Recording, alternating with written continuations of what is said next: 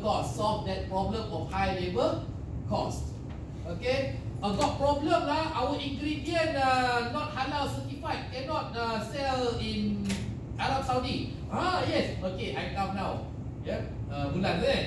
Uh, our product is halal certified. So you just position your product as a solution to the problem that their product cannot be sold in Arab Saudi. Yeah. So so that is what we call by consultative selling. Actually, most of us we do a lot more consultative selling than cold calling.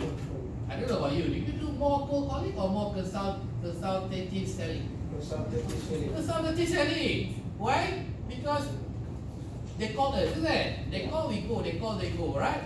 So the next round, I want you, uh, before you say uh, good morning, before you begin with the greeting, I want you to first tell your group members that the client has called you for what problem.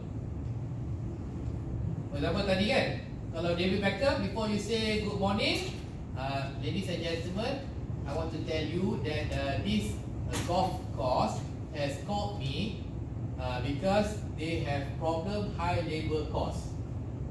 Okay, and then you start the presentation. Hello, good morning. Thank you for inviting me to come over to help you with your problem of high labor cost for fertilizing the golf course. And then I want you to choose a feature of your product that can help the customer to solve that problem and talk about it. And finally, therefore, I hope you consider to purchase our product. If your product can solve problem, they don't even talk about price. The price is not important because you are solving a problem. But if you are cold calling, they will always ask you, what's your price? Because you are cold calling, you are not solving a problem. Alright, like for example, one siapa? Doraemon. Doraemon. Right? You go to doctor, doctor say, oh, you got heart problem. What is the price, eh, doctor? Got ah? No, right? Whatever price also can, right? Yeah, because the doctor will be solving your problem, right? Ah, so consultative, consultative selling is like that, okay?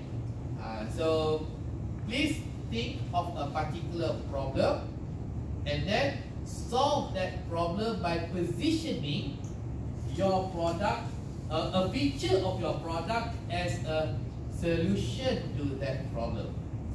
Right? Okay? You can think of a, of a problem and how a feature of your product can be a solution to that problem. Right.